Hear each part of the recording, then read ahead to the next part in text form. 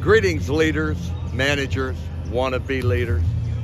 Dr. Byron Bucky Phillips, MBA, your professor, your executive coach, and your tennis pro.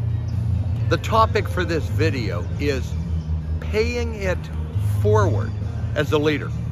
What is paying it forward as a leader?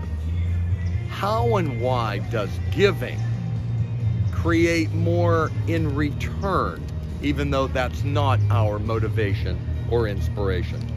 The best leaders of all time have been givers and modelers rather than receivers and takers. Moore and Glasgow, in their book, The Growth Mindset, describe the power of giving, particularly for leaders.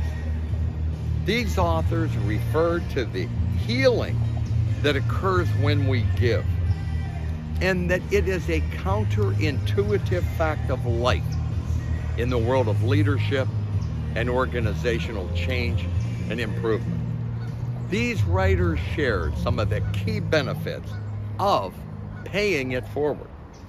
Number one, an attention gift is so vital when we recognize the people entrusted to us and with us. The successful reception of a gift is so reaffirming and confirming. We feel much more fueled and proud when another receives our gift. And we appreciate that we have even more after giving. It truly is the gift that keeps on giving. And we accrue renewed confidence and optimism. So don't be afraid to engender trust.